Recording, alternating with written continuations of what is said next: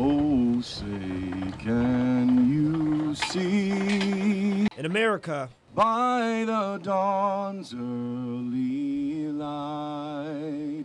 there's no sacrifice Proudly we like the ultimate sacrifice.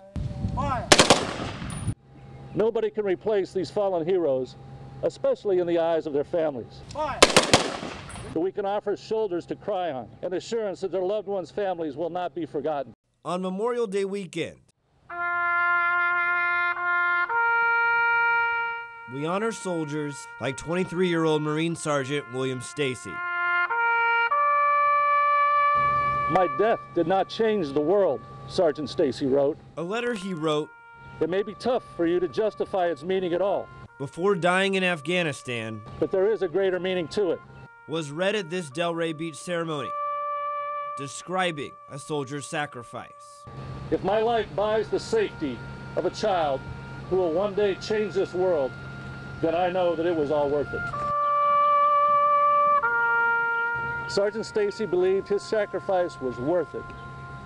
It is up to us to prove him right.